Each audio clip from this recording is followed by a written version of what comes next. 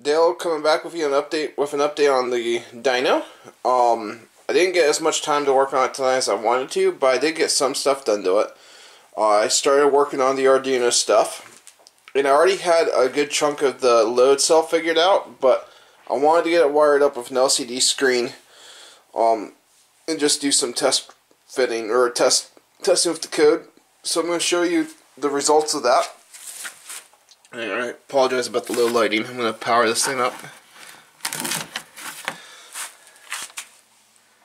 See if I can get to bring up the screen here. Let me restart this. Alright, so the welcome screen.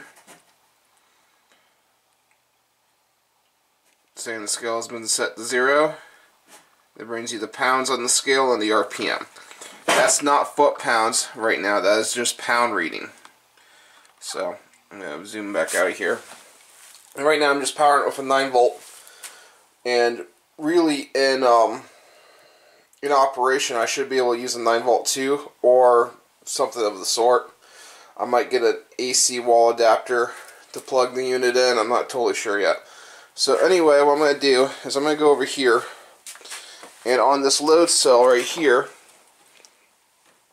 um, you can actually pick the thing up and see the reading. I'm going to show you that. Because the engine on this thing rotates clockwise, it's going to be picking this caliper up whenever the brakes are applied. So, and with that, it's going to be run, transferring the force through this rod on this load cell, and that force is readable on my screen. So, I'm going to zoom back into my, well, I'm going to show you.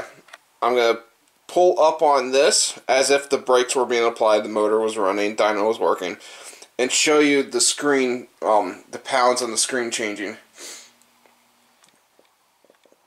So zoom in. There we go. Alright. I'm going to try to keep this as still, as still as possible here. So pull up.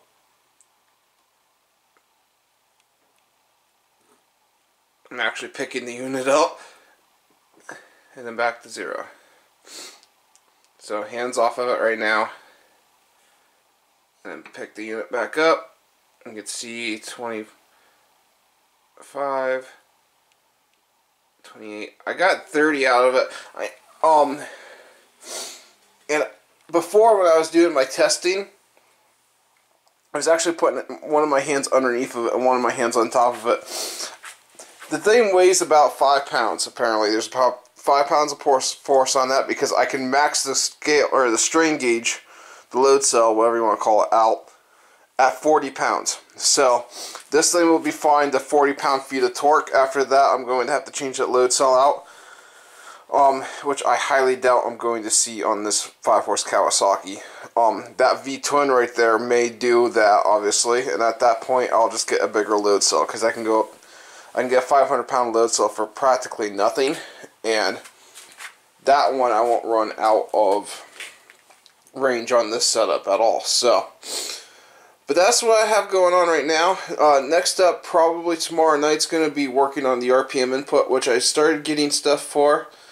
Um, I got some all thread because I'm gonna make it adjustable for gap sizing um, between that bolt and the head of the VR sensor.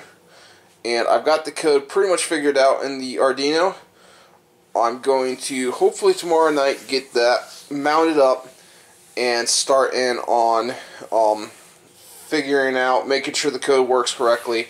And I have um, I have a digital yeah timing light that has an RPM readout. So I'm going to compare the two because that will hook right onto the um, spark plug. And I'm going to compare the two readings and see if it's relatively close to being accurate. I know there might be a tiny bit of belt slip there shouldn't be, but there might. So I just want to make sure everything there is, you know, lining up correctly. And then after that, I'm going to figure out my input from the spark plug for inductive input into the Arduino so that way I can data log both um, the RPM from the dyno wheel itself right in front of the rotor and from the spark plug. I can compare the two to see if there's any belt slip during the run. Um, the files are going to get saved to an SD card, which I have to put on the Arduino yet. That will probably happen some point this week. And it will save all the data files just right to um, right to the Arduino. And right now I have them, I'm going to have them set up to code out to a file that Megalog Viewer MS will read. So like my my my pretty much my horsepower and torque plots over RPM are going to be displayed on Mega Log Viewer MS.